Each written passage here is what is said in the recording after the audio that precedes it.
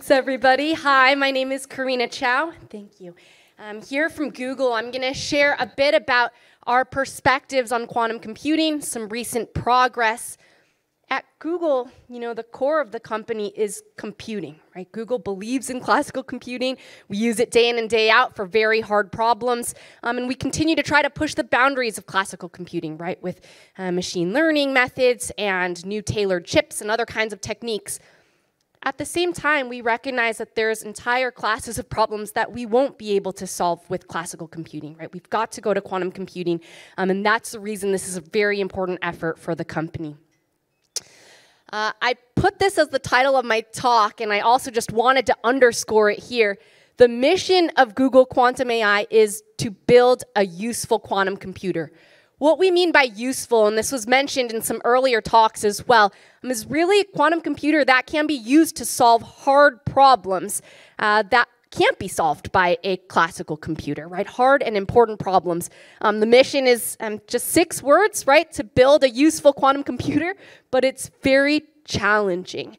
Um, along the way towards this ultimate goal of a useful error corrected quantum computer, we've identified a number of milestones. Just talk through them briefly, right? Things that we can try to achieve on the path to an ultimately useful quantum computer.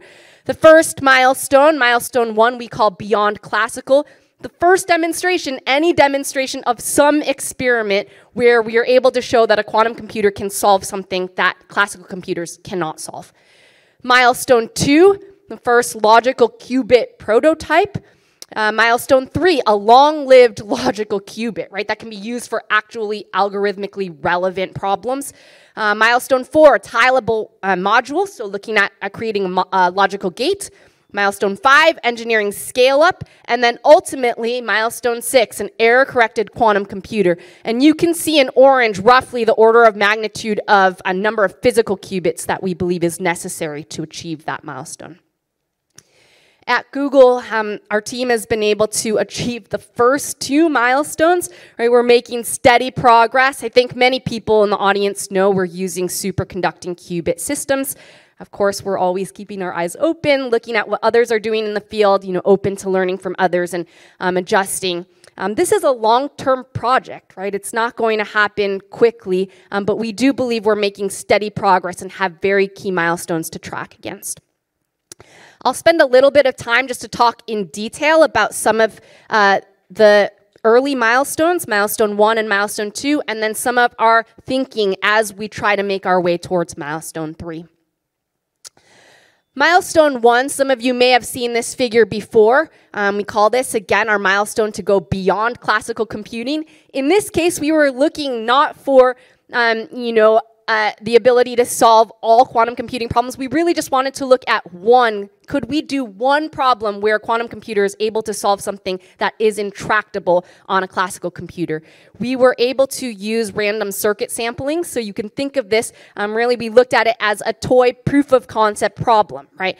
Where we are able to uh, demonstrate and run a random circuit um, just to give a couple of pointers on this slide, you can see, I guess, maybe look first at the inset. Um, this is a schematic of the chip that we use and circuit that we used. Um, you can see actually that the chip we used is 53 superconducting qubits. Um, and then look at the axes on this plot. The x-axis is number of cycles. You can think about this as the depth of the circuit.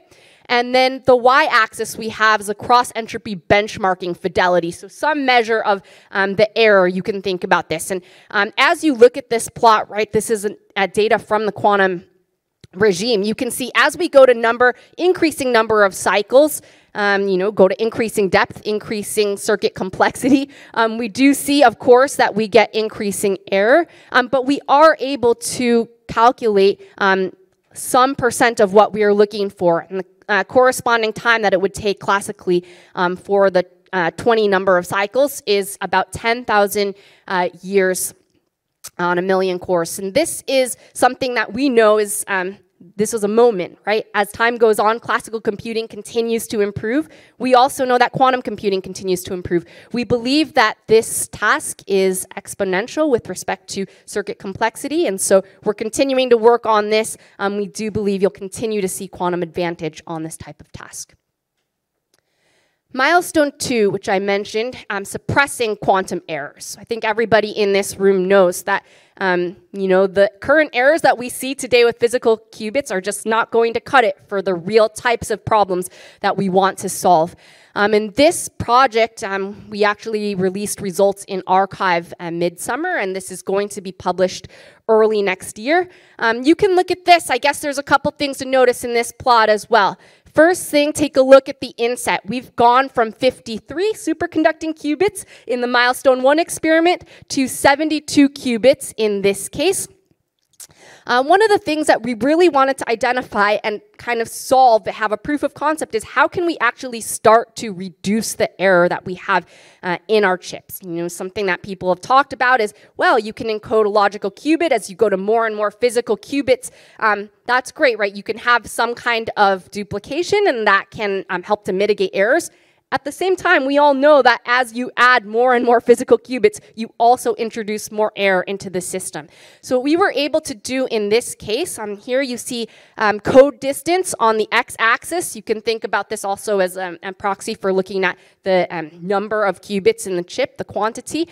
Um, and then on the y-axis, logical error rate per cycle. Um, so of course, as you go to more and more complexity, you want to be able to get lower error rates per cycle. Uh, in this work, for the first time, we demonstrated as we go to larger code distance, so take a look at the surface code um, black data points, as we go to larger code distance, so from code distance 3 to code distance 5, um, we do see a modest ability to um, go to better performance, right? Better quality, lower logical error rates per cycle. And this is quite modest, but it was really quite a feat for the team to be able to push um, the number of qubits in our chip and then also to demonstrate we were able to make the error rate uh, go down. If you look at the blue dots, um, those data points are the repetition code. So again, just looking at um, one 1D uh, error correction. So, you know, we do need 2D for actual quantum algorithms. But this was a way for us to demonstrate and test and see what errors are in our system, but also show proof of concept. In 1D, we are able to show with increasing code distance that we can go to lower logical error rates per cycle and actually get down to uh, rates that are meaningful for tough calculations. I mentioned our uh, number of milestones on the way to the ultimate goal of a useful quantum computer. The next milestone that we're working towards as a team, um, we call it milestone three. It is a long-lived logical qubit. We believe that we have a shot at this as early as 2025. I think there was an earlier talk around um, you know, it's hard to predict a lot of these things, and major uh, developments in certain types of research may speed up or slow down the work, but we do believe that we have a shot as early as 2025. You can take a look at this plot, similar axes as the last plot. The y-axis, you've got code distance. Again, you can see a corresponding number of qubits on the top y uh, on the top x-axis, and then on the y-axis, you have logical error rate per cycle. Again. And the gray line, you can see I've labeled that with milestone two. Those were the results that I just talked about where we see um, with increasing uh, code distance from three to five, we were able to get slightly improved logical error rate per cycle. Ultimately, you know, we all know that we've got to get to error rates per cycle uh, that are meaningful for the tough types of algorithms we want to run. We believe that's on the order of about 10 to the minus six logical error rate per cycle. Um, so you can see that in the blue horizontal line. Um, and this is a rough plot that outlines our plans. You see milestone two, where we'd like to get to ultimately is with milestone three, performance uh, at, at, or below 10 to the minus 6 logical error rate per cycle. So you can see a number of lines plotted here. We've got in the legend lambda, which is some measure of the slope, um, you know, our ability to uh, go down an error with increasing code distance. And ultimately, we are trying to get to roughly about lambda equals 4. Um, you can see that this is about code distance 17 to get within the 10 to the minus 6 logical error rate per cycle um, regime. Um, and this is something that we're working hard to do, right? To do this, we're going to have to in improve on, on two axes, right? Again, this was talked about earlier today, um, both quantity of qubits as well as quality of qubits. We believe that we've got some early ideas on how to get there. We're working hard to do it. So, why? I think everybody is congregated at this conference because we're interested in quantum computing, because we believe there is some potential, some promise here um, at Google, right, there's a lot of things that we are hopeful for about quantum computing.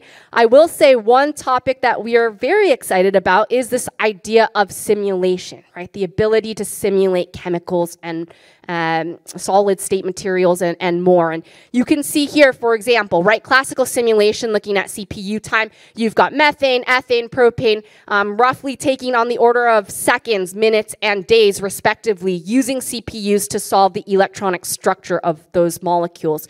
As you go to larger molecules, so uh, molecules that are important for catalysis, for example, or ultimately solid state, which we all know is important for batteries and, and other types of applications like that, it's actually intractable to solve that electronic structure um, with a classical simulation.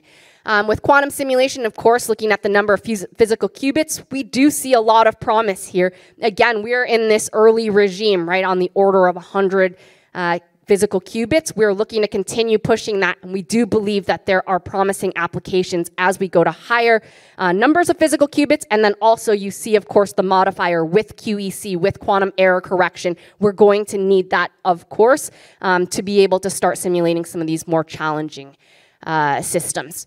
And then I did want to note here, it's not just simulation, right? Everybody gets excited about simulation. We're very much um, hopeful in that area, but we do see already a number of promising uh, opportunities for non-simulation applications. So things like certified randomness. Um, I mentioned random circuit sampling in our milestone one experiment. There are opportunities here, even in the regime that we are at now. Um, and also, we, we welcome plenty of good ideas. Anybody that's got thoughts, um, we do look forward to um, hearing from anybody with thoughts in this area. Um, as we go to larger systems, we do see some promising potential applications, again, non-simulation for topological data analysis, quantum machine learning, and then, of course, as you go to larger and larger systems, ultimately cryptography. So I wanted to share some recent advances in applications from the team I will point out, um, importantly, all of this work, a lot of the work that we do and all of the work that's presented here on the slide is done in collaboration um, with many partners in academia and in industry. Um, we believe that collaboration is critical to continuing to make progress in the field. Um, so you can look at the uh, papers that are represented here. Again, this is just a snapshot. There are many more even from this year in 2022. Um, you can see the full set on our website, quantumai.google. Um, but you can see um, just a couple highlights. And the first four that are cascaded here on the slide, these are actually uh, experiments that are theory as well as experiments, physical experiments done on our um, quantum processors in the lab. The first formation of robust bound states of interacting photons. This was experimental demonstration that these bound states do exist. The second, noise resilient Majorana edge modes. Um, this was an ability to explore actually some of these symmetry protected 1D edge modes um, and show that in some cases they are resilient to noise. Um, the third, quantum advantage in learning from experiments. This paper found that there are some classes of systems, for example, um, physical uh, systems predictions and, and other types of important systems, where you do get a quantum advantage using a quantum processor. You can learn um, from exponentially fewer experiments from exponentially fewer data points than you can using the um, corresponding classical computer. Uh, the fourth one, unbiasing fermionic quantum Monte Carlo. This is a paper that combines quantum Monte Carlo with quantum computation for major chemical simulations. Actually, um, it was able to simulate systems of up to 120 orbitals. Um, to date, this is the largest chemical simulation um, that we've seen using a quantum computer. Um, and actually, we're able to get um, results that are roughly on the order of state of the art with classical systems. And then this last um, paper that's listed on the slide, resource estimation to assess electronic structure of cytochrome P450. This is a theory paper, again done in collaboration to look at and assess the classical and the quantum resources that would be needed to calculate, for example, electronic structure of pharmaceutically relevant molecules. The um, this case, the cytochrome P450 uh, superfamily of enzymes. And um, the findings here were actually the number of classical resources that are going to be needed to um, really assess the electronic structure are enormous. They're quite large. Um, and so this is a great example of a place where quantum uh, computing really can have an advantage. I mentioned collaborators on the last slide. Collaboration is absolutely critical. Um, we do think that actually, you know, as you go to more and more people that are working in the field, that are thinking about these problems, that are equipped to, um, you know, bring their own ideas to bear, you're going to get more progress. We'll all benefit from that progress in the field. On the left, you see Cirq 1.0. This is our open source framework for programming quantum computers. Um, this is work done with the input of hundreds of contributors from Google, from other industry, collaborators from academia over the last you know, four plus years. Um, and you know, when we first started, we had only a, a, couple of qubits and a couple of quantum gates, and obviously things have really progressed since then. Um, we've got a number of new features. Mean, we do think this is important, right? We're using this completely um, internally at our company. We are also seeing lots of open source contributors using this, um, building libraries on top of it. Um, and this is also supported by a number of quantum cloud providers. Um, on the right, you've got the quantum virtual machine. Um, you know, the experiments I showed on the last slide were actual experiments run on our um, quantum processor. This is an emulation of Google quantum processors, right? It says no queues, no need to wait in line, um, but you can try it out. You can get started instantly in Colab. Please do check out these tools. We welcome um, all of your feedback. Look forward to ways to continue to improve and, and also ways to see um, how people are using them. If you're interested to become part of the team, please do come chat with us. I see my colleagues Kevin and also Nick there in the back. Um, we'll be here um, along with our couple of other teammates over the next few days. Love to hear from you. Team is the best part of um, working on quantum at Google, and um, we've got lots of opportunities for collaborations as well as uh, positions on team. I'll just leave with this last slide. Um, it's an image from our lab in Santa Barbara we think it's beautiful. You can see gorgeous artwork, um, and we also have a lot of cryostats in this lab. We call it sometimes our cathedral to quantum computing. Um, you've got a quote on the slide from Richard Feynman, of course, by golly, it's a wonderful problem because it doesn't look so easy. It's really hard, um, but we feel super privileged to get to work on this and um, look forward to hearing from you all. Thanks.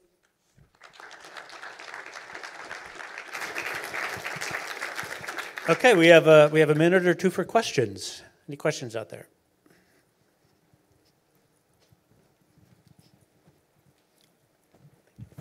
Hello. Thank you very much for your presentation. Um, I wanted to ask about uh, the milestones that you talked about, um, both in the context of increasing the number of physical qubits and simultaneously also reducing the errors. Um, so when you increase the number of physical qubits, um, you expect to have increasing amount of errors, right? So how do you hope to increase the number of qubits and reduce the error simultaneously um, in, in one of your milestones that you showed? Thank you.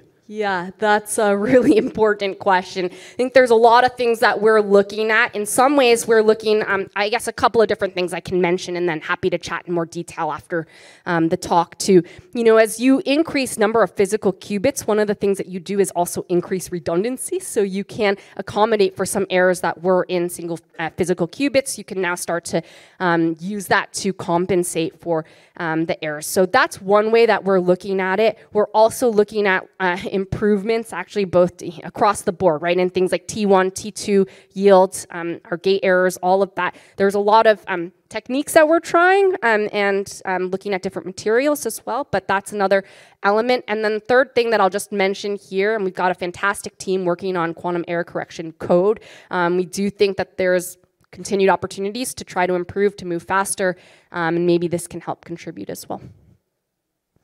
There's time for one last question. Any more?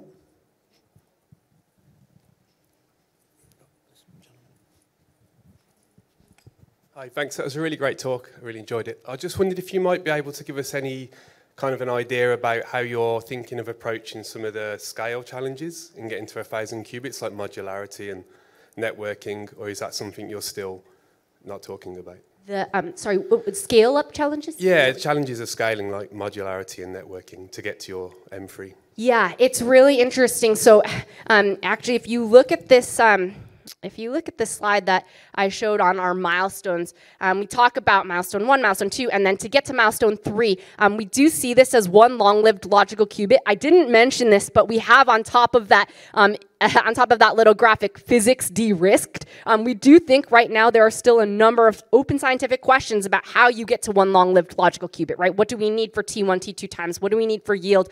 A number of other questions. So these are a lot of scientific questions we're trying to solve. We're also partnering with others. We do think once we're able to get to that, big question again, but as early, you know, as 2025, maybe that's our first shot. Um, we think that being able to tile to get to milestones four, five, and six actually will be relatively, I don't want to say simple, but we'll have taken a lot of the challenging physics out of it. Um, and it'll be a matter of making sure we've got the right cryostat systems and others to just um, put them all together.